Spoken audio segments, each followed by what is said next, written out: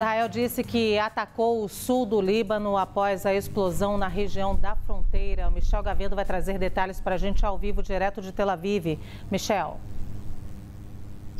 É, é, boa noite aqui de Israel. Sim, o exército confirmou que está atacando, inclusive agora nesse momento, bases ou do Hezbollah ou do exército do Líbano.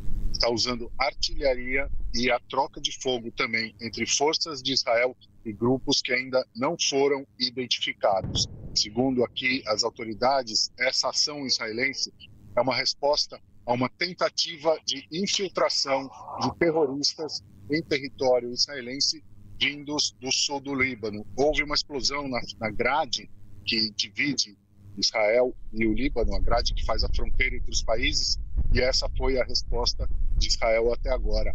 Isso é mais uma indicação de que a guerra que começou no sul entre Israel e o Hamas pode estar chegando agora, em definitivo, para o norte do país também, na fronteira com o Líbano. Agora, mais cedo, de tarde, final da manhã, aí no Brasil, o Hamas disse que disparou um míssil da faixa de Gaza e que foi interceptado no ar mas esse míssil chegou a 200 quilômetros da faixa de Gaza.